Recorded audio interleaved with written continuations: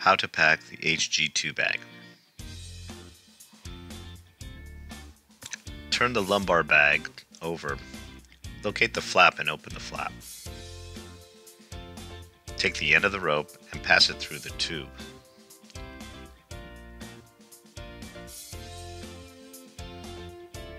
Pull all the rope through, all 50 feet.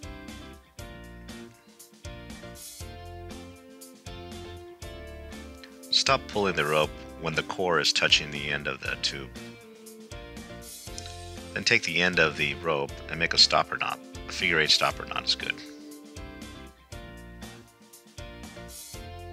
Then take the end of the rope and stuff it to the bottom of the bag.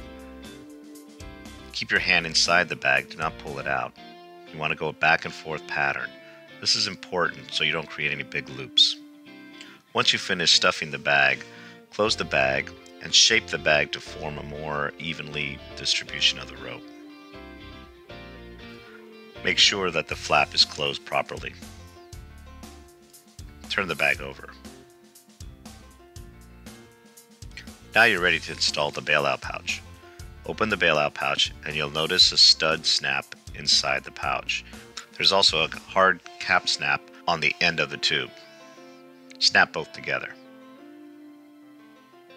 Once you snap the pouch onto the tube, take the core and the carabiner and place it over the lower end of the pouch. Then, take the hook and slide it into the tube. The hook should be mostly inside the pouch area. You should notice the strap underneath the talon.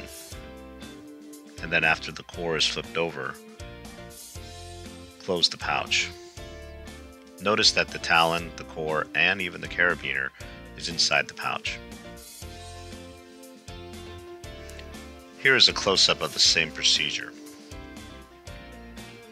Notice the multi-configurational strap is on the lower portion of the pouch, and when you slide the hook in, it is on top of the tether. Then fold over the core on top of that. Then close the Velcro on the bag, tucking in the corn talon into the pouch. You may need to readjust the corn talon and push it into the pouch, but this is very secure. Here we have the hook and go on a Cheyenne belt.